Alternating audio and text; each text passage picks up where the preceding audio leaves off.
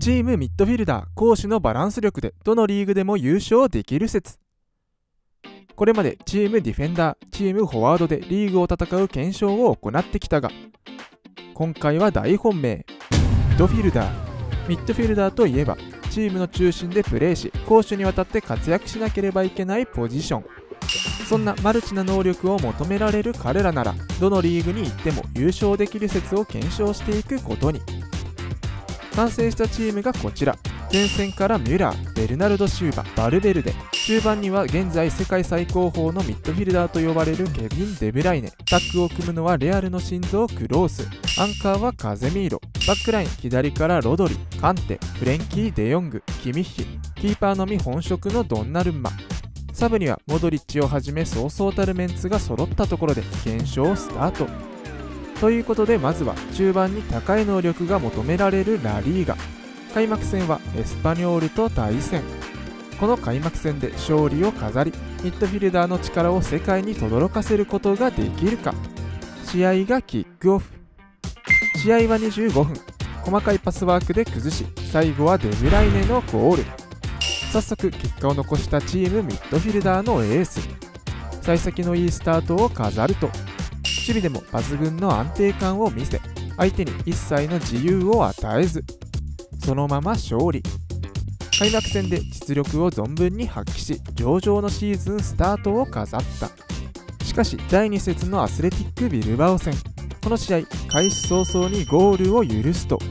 その後もチームを立て直すことはできずに敗北。2戦目にしていきなり黒星をつけられると。続く第3節のバレンシア戦でも決定機は作るが決められない展開が続きこの試合も勝利とはならずスコアレスドローで難しいシーズンスタートとなってしまった。さらにその後優勝に向け絶対に負けられないレアル・マドリード戦ではチームが崩れまさかの大量失点で大敗北。思うように勝ち点を積み上げられず嫌な予感がするがシーズン終了までスキップしてみるとやっぱりダメだった。最終順位5位で CL 出場権すら逃す結果。一番期待していたミッドフィルダーの検証だったが今までで一番悪い結果となってしまった。さすがにこのまま終わるわけにはいかない我々は一応プレミアリーグでも検証してみることに。ラリーガでのシーズンは振るわない結果となってしまったがこのプレミアリーグでは期待に応える結果を残すことができるのか。試合は10分。チームミッドフィルダーがゴール。新規一点プレミアリーグで早速結果を残す。昨シーズン失った信頼を取り戻すべくチームが一つに。しかし26分ゴール前の混戦を押し込まれ失点。すぐさま同点に追いつかれるチームミッドフィルダー怪しい雲行きに。その後は流れが傾き再三のピンチを迎えるがドンナルンマがギリギリでビッグセーブ連発。しかし前半終了間際の43分。カウンターから完全に崩されると失点。開始早々の勢いはどこへ行ってしまったのか。前半を1点ビハインドで折り返し望みは後半へ。エンド変わり後半。反撃に出たいチームミッドフィルダーは序盤から勢いよく攻める。しかし54分。前がかりになっているところをカウンターで疲れ点差はさらに開き絶望的な状況になると。さらに試合終了間際の89分コーナーから失点し終わってみれば4対1の敗北。プレミアリーグの開幕戦でも不甲斐ない戦いで黒星スタートとなった。さらに第2節のウエストハム戦でも早い時間帯にゴールを許すと。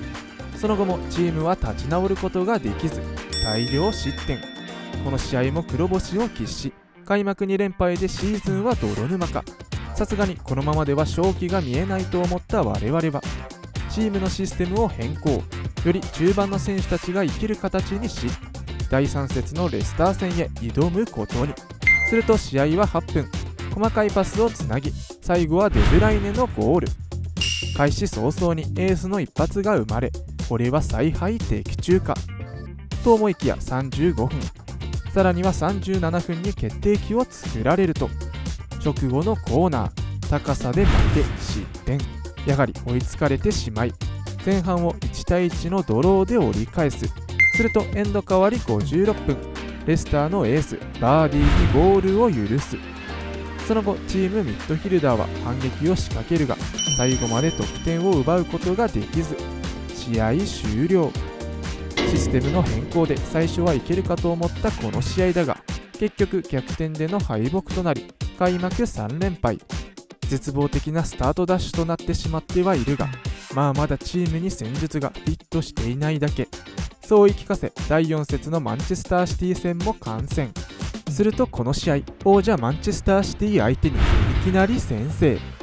さらに22分にもベルナルド・シューバがゴールを挙げ序盤から2ゴールとなんか調子のいいチームミッドフィルダー。その後も怒涛の攻撃でシティゴールを脅かすチームミッドフィルダー。エンド変わり後半にはシティの意地の一発を浴びるもののその後はゲームをしっかり締め開幕4戦目にして初勝利はまさかのシティ。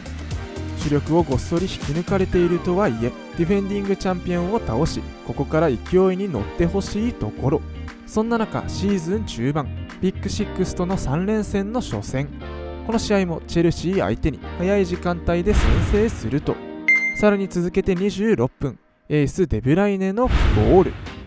この試合も前半で2ゴールと完全に勢いに乗っているチームミッドフィルダー。結局試合もこのまま勝利をつかみ取り連戦の初戦で白星を飾る。さらにユナイテッド相手にもスコアレスで迎えた82分。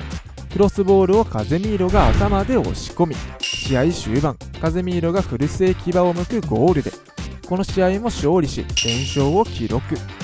さらにさらに連戦の最後はリバプール。この試合は序盤からオープンなゲーム展開で一進一退の攻防が繰り広げられると。迎えた前半終了間際のアディショナルタイム。こぼれ球を詰めたのはベルナルド・シューバ。いい時間帯でゴールを奪い勢いに乗ると。エンド変わり後半には試合を決定づけるゴールが生まれこの試合も勝利。チームミッドフィルダーがビッグ6との3連戦で3連勝を記録し序盤に落とした勝ち点を取り戻す勢いを見せる。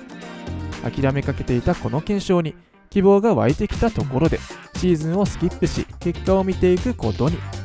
果たしてチームミッドフィルダーはプレミアリーグで優勝することができたのか？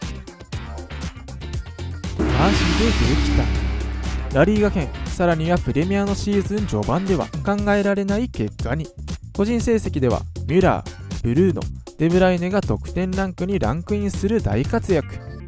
一時はどうなることかと思ったが過去フォワード選抜ディフェンダー選抜も成し得なかった結果を残したところで検証結果。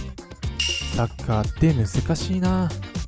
でした。チャンネル登録高評価よろしくお願いします。